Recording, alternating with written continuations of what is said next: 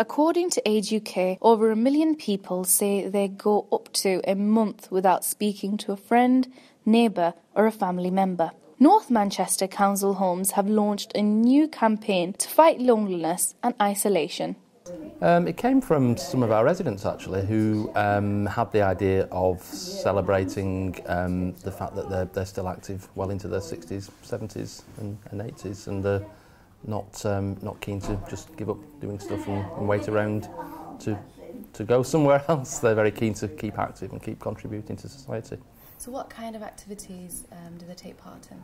We've got residents that involved, uh, involved in all sorts of stuff really. We've got people who write, we've got people who are involved in campaigning, um, people involved in local community groups. Wendy Tika is a scheme manager at the Edward Grant Court. She feels this scheme has helped form a stronger community. Well, you try and get people who don't see anyone from one day to the other. Half of them don't have carers, so they might not see any of their family members for about a week. So it's getting people who are lonely out in the community with us. We used to have people outside who came in. In here, we'd have parties, um, do a lot of lunches for them, breakfasts, to bring the community together. But sitting in a flat on your own, because that's when depression kicks in. Retired Not Expired is a new campaign launched here at the housing estate. Let's see if it actually works. We have a little meeting here every night about six o'clock till seven.